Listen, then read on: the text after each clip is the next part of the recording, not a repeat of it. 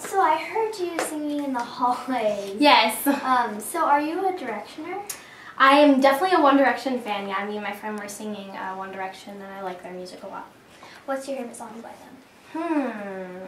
I like a lot of their songs. I like Little Things a lot. That's a good song. yeah, Um, let's talk about China Doll. Um, Mm-hmm. Is she more fragile or feisty?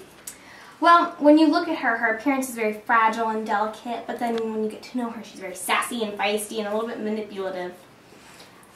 Okay, so do you own any China dolls or before the movie? I'm working on it. I actually had one, but I gave it to somebody. Um, but I, the China dolls are so cute, and I'm just so excited that they made a doll of me. So.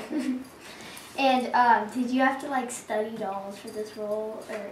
I don't know. Uh, no. Um, I just, it was it was basically just like playing a regular person, but you know, just giving her a voice and just and ex- expressions, and so I just had to you know um, kind of play around with it and just make her her own character and just kind of play around. Yeah. So um, China Doll lives in Chinatown, which isn't. It was. It's not. It's like. It's not like a Chinese town. It's a. It's a porcelain town made of China. Uh, so like, what do you think the food is like there? I don't know. What do you think porcelain people eat? I'm not sure.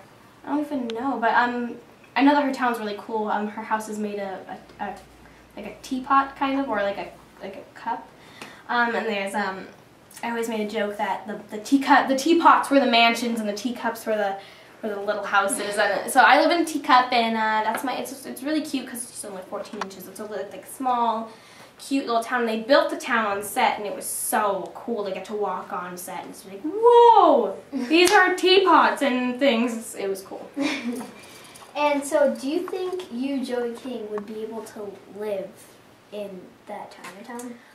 Yeah, it was so and especially the house that they built for me. It has like a little mini staircase, and like a little mini fireplace. So I definitely would want to live in um, a little teacup like China doll did. Okay, so since China Doll is like a new character to the Oz family, and the other actors are the, like the classic movie characters, is there a classic movie character that you would want to play one day? Mm, I'm not sure. There's a book trilogy that I would love to see come to life, and I would love to be part of it. Um, it's called The Uglies, Uglies, Pretties, and Specials. It's a book trilogy, and I'm a really big fan of those. Cool. Thank you for you so much, yeah. questions.